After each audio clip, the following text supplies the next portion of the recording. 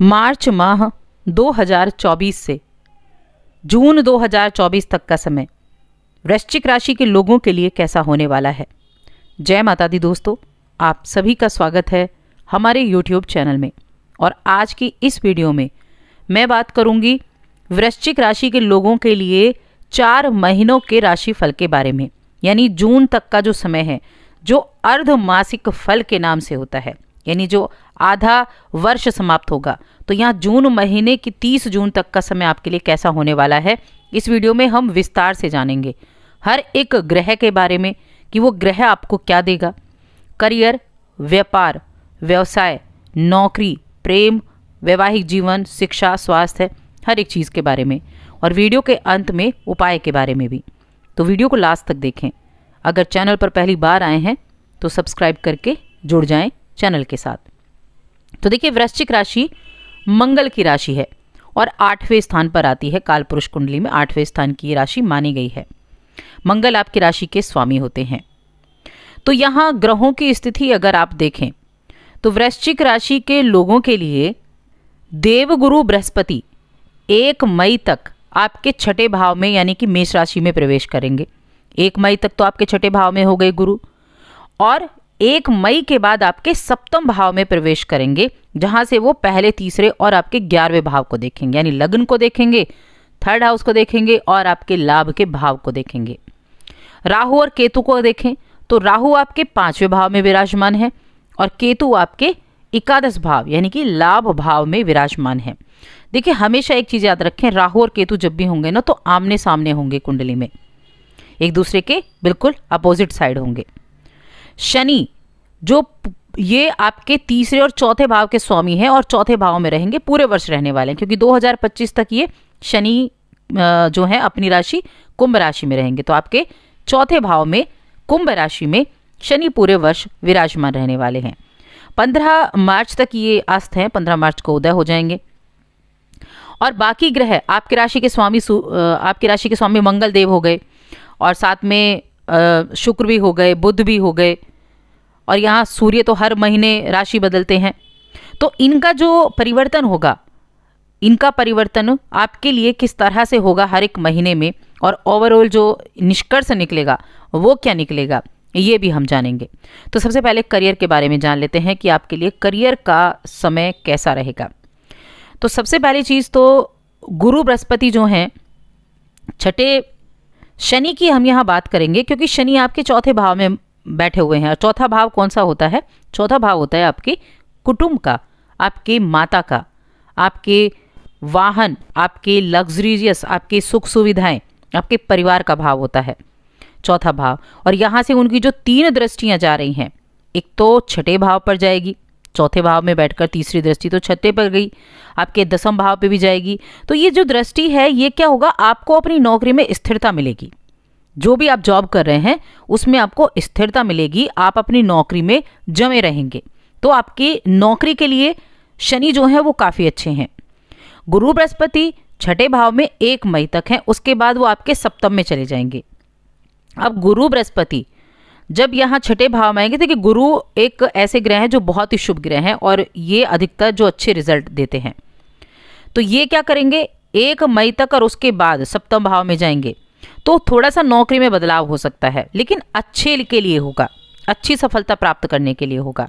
और साथ में नौकरी में भी आपको अच्छे रिज़ल्ट प्राप्त हो सकते हैं, यानी पदोन्नति के भी अवसर बनते हुए आपको यहाँ दिखाई दे सकते हैं। किसकी वजह से? गुरु की वजह से। व्यवसायिक रूप व्यवसायिक रूप से भी अगर आप देखेंगे तो अच्छा रहेगा, क्योंकि चौथे के शनि आपको अपने परिवार से दूर ले जाकर व्यापार भी करने के लिए प्रेरित करेंगे। तो चौथे भाव में तो कब से हैं? अगर आप बाहर अपने परिवार से दूर रहकर काम कर रहे हैं, व्यापार कर रहे हैं तो आपके लिए अच्छे रिज़ल्ट बनेंगे, अच्छे लाभ आपको देखने को मिलेंगे। और अगर अभी तक आप अपने परिवार के साथ रहकर कर रहे हैं तो आपके लिए ज़रूर कहीं ना कहीं परेशानियाँ चल रही होंगी। उतना ज़्यादा आप प्रयास कर रहे होंगे, उस प्रयास से आपको रिज़ल्ट प्राप्त नहीं हो रहे होंगे। क्योंकि चौथे भाव में शनि का होना अभी आपको परिवार से दूर के कामों से, परिवार से दूर रहकर जो काम करेंगे, उनसे लाभ दिलाने वाला है। इसके अलावा अगर आप कंस्ट्रक्शन का काम करते हैं तो उनके लिए भी अच्छे लाभ मिलते हुए दिखाई दे रहे हैं। या फिर इंफॉर्मेशन टेक्नोलॉजी का काम करते हैं, शिक्षा जगत से जुड़े हैं तो वहाँ भी अच्छे लाभ बनते हुए दिखाई दे रहे हैं।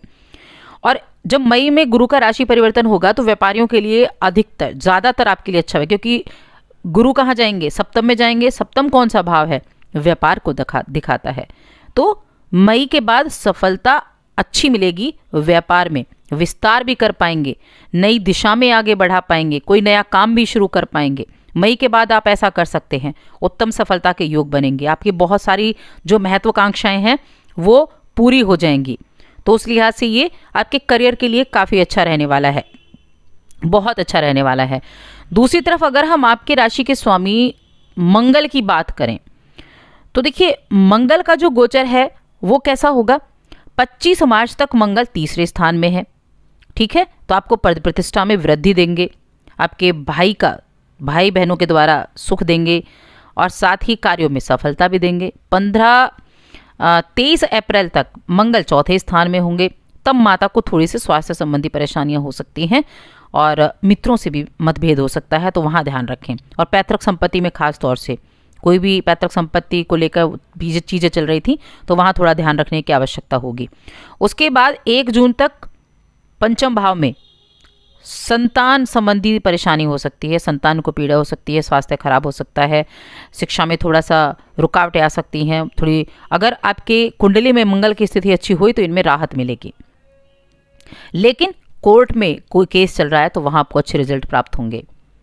आपके शत्रु हैं, उनको निपटाने का काम करेंगे शत्रु जो शनि है, छठे भाव में बैठकर, क्योंकि शनि को, मंगल को मंगल को चाहिए, मंगल क्या है, पराक्रमी है मंगल को चाहिए काम करने को। और छठे भाव में जाकर शत्रुओं का नाश कर देंगे। कोर्ट में विजय दिला देंगे। नौकरी में भी अच्छा रिज़ल्ट दे देंगे। तो वहाँ अच्छे रहेंगे। जून के महीने में बहुत अच्छी स्थिति मंगल की रहेगी। उससे पहले मंगल थोड़ा सा परेशान कर सकते हैं, लेकिन आपके लिए व्यापार, नौकरी के लिए मैं कहूँगी अच्छा समय रहेगा। चलिए, अब हम बात कर लेते हैं आपके किसके बारे में? प्रेम जीवन के बारे में, विवाह जीवन के बारे में, पारिवारिक जीवन के बारे में। तो प्रेम जीवन की अगर बात की जाए तो प्रेम के स्वामी कौन से ग्रह माने जाते हैं? प्रेम के स्वामी शुक्र भी हैं, प्रेम के स्वामी बुद्ध को भी आप कह सकते हैं, बुद्ध भी हैं। तो अब ये क्या करने वाले हैं? अब देखिए, पंचम भाव आपका प्रेम का भाव है, जहाँ राहु बैठे हुए हैं। तो राहु क्या करेंगे? क्या राहु यहाँ अच्छे हैं? तो देखिए, राहु का काम है, आपको प्रेम में कुछ कर गुजरने वाला बना देंगे। कुछ भी कर गुजरेंगे अपने प्रेमी के लिए, प्रेमिका के लिए, ऐसा बना देंगे, परिपक्व हो जाएगा प्रेम। रोमांस बहुत अच्छा होगा। और सबसे बड़ी चीज़ तेईस अप्रैल से एक जून के बीच में जब मंगल का गोचर पंचम में होगा राहु के साथ, तब वो समय आपके लिए अच्छा नहीं होगा। इस समय अवधि में अच्छे से ध्यान रखना है। प्रेम जीवन के मामले में बहुत ज़्यादा सतर्कता आपको बरतनी होगी, क्योंकि शारीरिक समस्याएँ भी हो सकती हैं, मानसिक टेंशन भी हो सकती है, विवाद भी हो सकता है। तो रिश्तों के लिए ये नुकसानदायक समय रहेगा। नोट करके रख लें, तेईस अप्रैल से एक जून, क्योंकि मंगल, राहु की युति अच्छी नहीं होती। दोनों एक साथ आपके प्रेम के घर में होंगे, संतान का भी यही भाव है। तो यहाँ ये जो स्थिति है, ये थोड़ा सा आपके लिए ध्यान रखना होगा। लेकिन एक मई तक जो गुरु आपके छठे में है और एक मई को जब सप्तम भाव में गुरु आ जाएँगे तो सप्तम भाव किसका है? विवाह का भी है। तो यहाँ क्या होगा? आपके मनपसंद व्यक्ति से, आपके मनपसंद जो भी आप स्त्री हैं, पुरुष हैं, जिनसे आप प्रेम करते हैं, जिनको आप पसंद करते हैं, उनसे विवाह के योग भी बन जाएँगे। तो उनसे विवाह के चांसेस भी आपको बनते हुए अच्छे से दिखाई दे रहे हैं।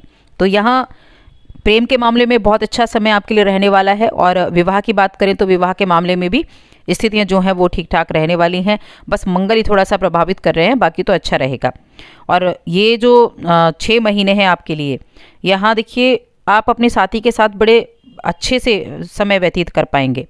लेकिन मैं कहूँगी कि विवाह के योग कब बनेंगे? तो वो एक मई के बाद बनेंगे। बहुत सुंदर योग बनेंगे और मनपसंद तो साथ ही मिलेगा ही, प्रेम भी आपका अच्छा रहेगा और साथ में जो विवाहित लोग हैं, उनके लिए भी स्थितियाँ जो हैं, वो अच्छी रहने वाली हैं। अब बात करेंगे हम यहाँ आपके लिए आपकी शिक्षा के बारे में। कि आपकी शिक्षा के क्षेत्र में समय जो है, वो कैसा रहने वाला है? तो पंचम भाव में जो शिक्षा का भाव है, वहाँ कौन बैठे हैं? वहाँ बैठे हुए हैं राहु और यहीं रहने वाले हैं पूरे वर्ष भर। अब राहु देखिए क्या है, राहु भ्रम है। राहु भ्रम है, लेकिन राहु बहुत बुद्धिमान भी है। एक बुद्धिमान ग्रह माना जाता है। राहु को देखकर ऐसे ही नहीं डरना है। राहु आपकी बुद्धि को तेज बनाएँगे। जो भी आप कुछ सोचेंगे, समझेंगे, पढ़ेंगे, जानने की कोशिश करेंगे, वो तुरंत आपके दिमाग में आ जाएगा। बुद्धि का विकास, स्मरण, आपकी क्षमता तीव्र होगी। आप ऐसी ऐसी चीज़ों में चुटकी बजाते ही चीज़ों को हल कर पाएँगे। जो सामान्य ज्ञान की भी होगी, जिनको मैथ्स में प्रॉब्लम थी, वो भी उसमें इंटरेस्ट लेने लगेंगे। तो ये चीज़ें जो आपके साथ हो रही हैं, आपको अपने सब्जेक्ट्स में आगे बढ़ने का मौका मिलेगा। लेकिन राहु भ्रम भी हैं, राहु भटकाते भी बहुत हैं। तो बीच बीच में आपका ध्यान भटकाने का काम भी करेंगे, चुनौतियाँ भी देंगे, दिमाग आपका तेज है, अनुशासित रहकर काम करेंगे, पढ़ाई करेंगे तो ठीक है, चुनौतियाँ भी आएँगी। तो ऐसे में आपको बस थोड़ा सा ध्यान रखना है, मन को भटकने से रोकना है। परीक्षा की तैयारी आप कर रहे हैं मेहनत कर रहे हैं तो अच्छे रिज़ल्ट आपको मिलेंगे। मई के महीने से आपके लिए सबसे ज़्यादा संभावनाएँ बनेंगी किसी भी प्रतियोगी परीक्षा में परिणाम अच्छे आने की। सबसे ज़्यादा संभावनाएँ आपके लिए मई के महीने से बनेंगी। यानी मई और जून का महीना अच्छा रहेगा, उच्च शिक्षा ग्रहण करने के लिए भी। विदेश जाकर पढ़ाई सपना, पढ़ाई का सपना पूरा करना चाहते हैं तो उसके लिए आपको जून के बाद का समय काफ़ी अच्छा दिखाई दे रहा है, तब आपके लिए अच्छा रहेगा।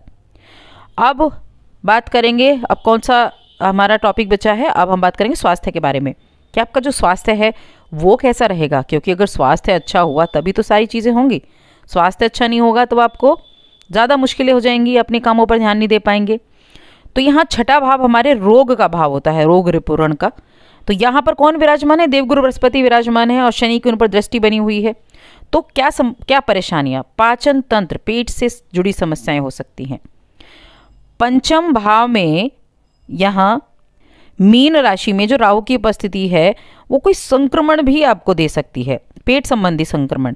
तो थोड़ा खाने पीने की चीज़ों का ध्यान रखें अपना, अवॉइड करें बाहर के खाने की चीज़ों को जितना हो सके तो ज़्यादा अच्छा रहेगा। अपना कोई भी दिक्कतें चल रही हैं तो उनको थोड़ा सा ध्यान रखते हुए चलेंगे तो अच्छा रहेगा। यानी स्वास्थ्य ठीक दिखाई दे रहा है बहुत बड़ी चीज़ें तो नहीं है, लेकिन कई बार छोटी छोटी चीज़ें भी ज़्यादा परेशान कर देती हैं तो उनको आपको थोड़ा सा सतर्कता से आपको ध्यान देना होगा। अब यहाँ हम उपाय की बात कर लेते हैं कि क्या उपाय आप कर सकते हैं, क्या उपाय आपके लिए अच्छे रहेंगे। अब मंगल की राशि है, क्या करें? शनि भी हैं आपके शनि आपके जो चौथे भाव में विराजमान है।